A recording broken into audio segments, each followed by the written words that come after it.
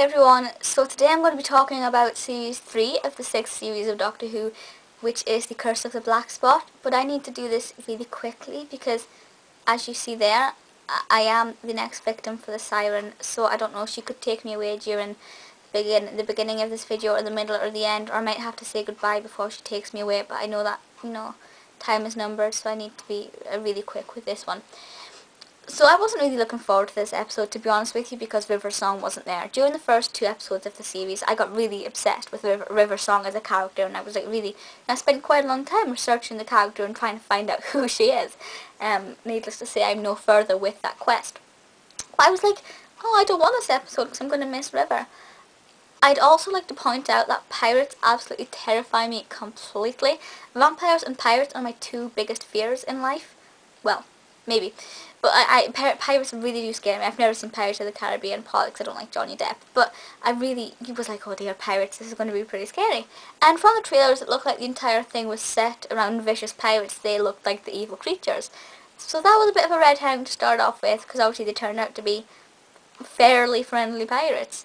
Um, when I first heard the sirens call, I was like, that is absolutely beautiful. It, it reminds me of some in, another piece of music. It kind of reminds me of a Christmas carol with a really soft, beautiful, gentle music. That's what it reminds me of. It took me until just now to figure that out. And but it is absolutely beautiful, and that alone makes it so so weird. Because when you see this beautiful, this beautiful, almost angel-like glowing siren, it's like she can't cause no harm until she hisses and goes bright red and scary. That was terrifying. That really did make me jump, terrified the life out of me. Um, also, there was a pentagram. There was a pentagram on the box, in, on the ship, in one of the boxes. I was like, oh, look, pentagram. I got really excited. This was all within the first, like, 10 minutes of the show. I was totally, totally ecstatic. My opinion had completely changed around. I was no longer like, I miss River. I was like, this is brilliant. so it was really quite um, interesting. The idea of the black spot can start a new Doctor Who trend. You know, for example, like the whole "Are you my mommy?" thing with putting your hands through the letterbox. That was a great trend. Um, what else has there been?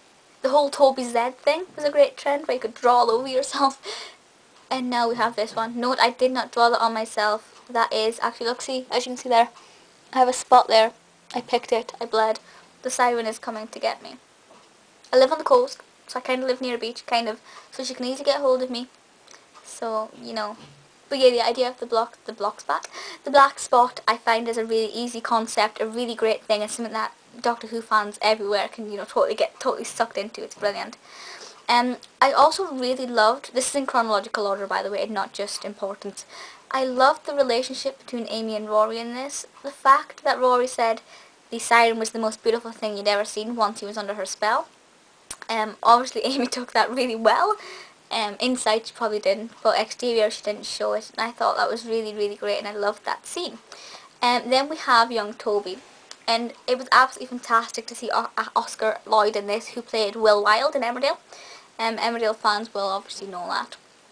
Brilliant little actor, so I was quite excited to see him in this. Because very rarely they'll use a child actor that I already know of, but the fact that he came from Emmerdale is great. Um, he is fantastic, I love him. Um, then we had that woman with the eye patch, with the silver eye patch, who came through the non-existing hatch. She's starting to annoy me like something not right. I mean, seriously, it's like, just go away. Who is she?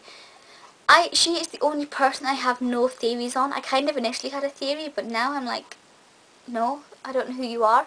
Um, I checked the, that the woman with the eye patches list on IMDb.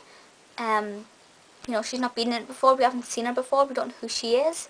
And it's like, is she connected to River or is she connected to Amy's positive negative thing? It's really a tough one to call and I don't really know. I, I have no idea who she is. I really, really don't. Um, the bit where Rory drowned, I was like, has he gone? He can't, he can't die, can he? He can't.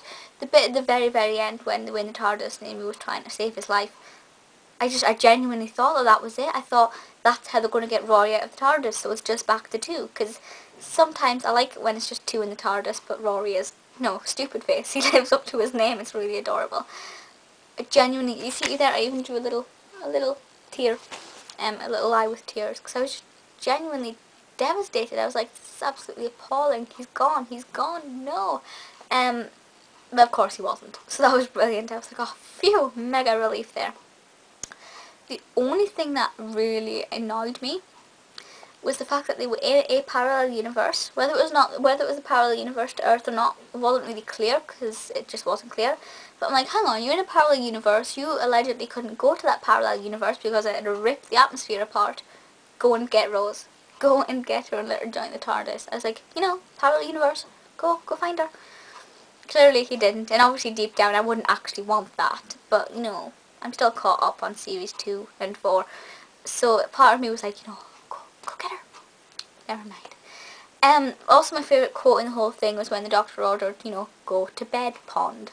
I love it when he calls it pond. I just think it's brilliant. Um, and obviously we're still, we're still no further into the truth about Amy's whole really awkward situation.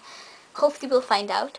The next episode, the doctor's wife, um, no. I'm not looking forward to this because, well, first of all, I don't want the doctor to have ever had a wife because that's just not fair. No, not. Um, so I'm not really looking forward to it in that sense. Plus, at the very end, we just saw the clip of the Ood. I thought they'd overdone the Ood with Series 4. I'm like, I don't want the Ood back. Go away. So for them to come back in Series 6, I was like, no, I'm, I'm not happy with this whatsoever. I might enjoy the episode, but I will always stand by that I do not want the Ood to be overdone. I don't think they're special creatures. You know, for example, the Daleks, yes, get them back every time. Cybermen, yeah, keep them coming back. The Ood? I mean, why the Ood? Why not the Krillitane or the the, the Vespa or the Sontaran? I mean, I know the Sontarans do come back every now and then, but why the ood? What's so special about the ood? I just don't, I'm totally anti-ood. just totally ood. But yeah, so I just don't understand it. But you guys may like the ood, um, I don't know.